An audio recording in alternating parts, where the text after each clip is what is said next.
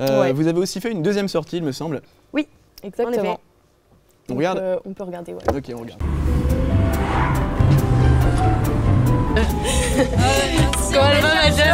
Bien le bonjour. Non, c'est l'autre, Jose. C'est l'autre. Jose Oui, c'est là. La Jose au volant. Allez, plein de tête pour se garer. Ce soir, on va aller tester le Carasson, qui est un estaminet sur Reims, rue Cérès. Ça, c'est ici.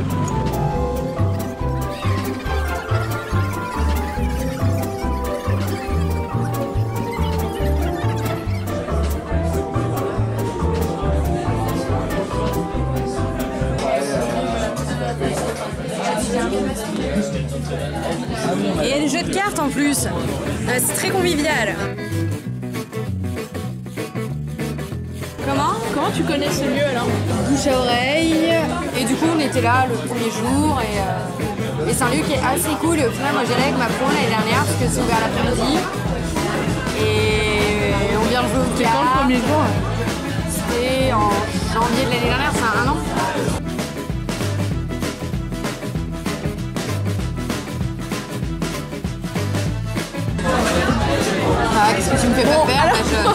Ça a l'air pas mal quand même. Euh, En vrai, ouais, non, mais je prends toujours ça et elles sont vraiment bons. Bon, bah celle-là d'habitude, c'est quoi alors Non, là, c'est euh, fourme d'aubernois. Petite quiche quoi, petite quiche salade hein. Alors ça, t'en as eu pour combien? Euh, 3 euros du coup, donc c'est vraiment genre bon 3 plan. euros l'assiette. Hein. 3 euros l'assiette. Bon, maintenant, ils font des salades. Il y a des planches de charcuterie, des planches de fromage, des planches mixtes. Lui fais maison? Ouais, c'est fait maison, ils ont un chef. On ira vérifier ça tout à l'heure. Jose ne lâche rien. Ah. Jamais. Elle ne rigole pas avec la qualité et l'hygiène. Mais euh, franchement, c'est bien. mais même les toilettes sont propres. Effectivement. Alors Donc, du coup, voilà. Expliquez-nous un petit peu. Alors cette fois, c'est la Claude qui m'a amené là-bas. Moi, je l'avais amené à l'escape game, donc je vais Ok. la laisser démarrer cette description. C'est un petit peu votre, votre principe du coup. Chacun Oui. amène l'autre Ouais, euh, c'est ça. à des Chacun activités. propose une sortie à l'autre. euh, on sait pas trop où on va et euh, fait découvrir un lieu euh, à l'autre. Ok. Donc là, on a testé du coup le cabasson. Moi, je connaissais déjà, donc du coup, j'ai amené, euh, j'ai amené Jose là-bas. Euh, Très bien. Du coup, c'est un estaminet sur Reims qui a ouvert il y a un an, qui est très sympa, ambiance très très cool. Euh, c'est ouvert tous les jours sauf le mardi. Le dimanche, ils font brunch. Très bonne ambiance, jeux de société. Il y a des concerts euh, de Brassens et de Brel le dimanche après-midi pendant le brunch. C'est ouvert aux familles, ça ouvre à partir de 16h. Donc ils font thé, tarte sucrée, tarte salée, planche mixte. Il y a vraiment, c'est vraiment un bon compromis pour sortir toute la famille. Ok. Bonne description. Euh, on a rencontré quand même des clients un peu, on a essayé de leur poser quelques questions. Donc euh, on peut regarder ça. Le cabasson c'est vraiment unique parce que ça a son, son propre chat. Et c'est très, c'est très, j'ai l'impression que c'est aussi très personnel comme c'est- ce qu'on qui- disait, c'est ses instruments. C'est ses instruments, c'est ses livres, il me semble, la déco c'est lui qui s'en charge. Qu'est-ce qui vous plaît en fait dans ce bar hein, qui, qui sort, qui se détache peu l'ordinaire, il sort des autres bars.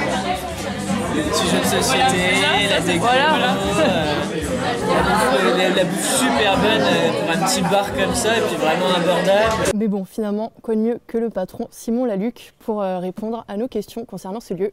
Il y a un très gros concept au Cabasson. À la base, c'est vraiment un estaminet. Ouais. Un estaminet, c'était un lieu de vie dans les années 50-60. C'est un vrai café d'époque. On peut venir grignoter, on peut venir jouer avec ses enfants. On a pas mal de jeux pour les petits, pour venir en famille. On a des jeux de société pour les plus grands.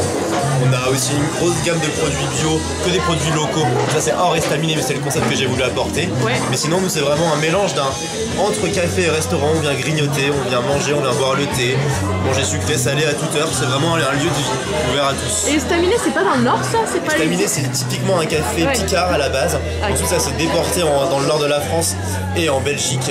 Mais c'est un café des Flandres, traditionnel des Flandres. D'accord, ça marche. Nous, le- la vraie philosophie qu'on a apportée, la valeur ajoutée qu'on a apportée ici, c'était de faire que des produits locaux.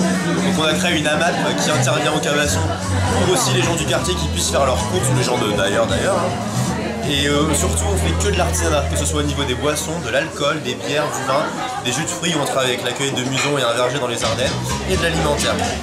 Du coup, est-ce que vous fabriquez donc euh, sur place? Alors la petite particularité du cabasson, c'est qu'on n'a pas de micro-ondes et on n'a pas de congélateur ni de chambre froide. Donc on est obligé de tout faire sur place. Donc chaque fois qu'il y, y a des produits qui demandent une transformation alimentaire, que ce soit euh, des soupes, euh, des quiches, du sucré, du salé, des tartines, tout est absolument fait ici.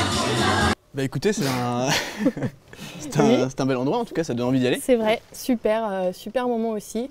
Bonne soirée avec euh, la Claude. Vous avez déjà des petites idées pour, euh, pour la suite? Ouais, on Ah a déjà ouais, trouvé. Mais ça reste en tête, on a notre truc. ouais. On découvrira ça le mois prochain du coup. Exactement. En tout cas, merci à vous, on vous retrouve le mois prochain.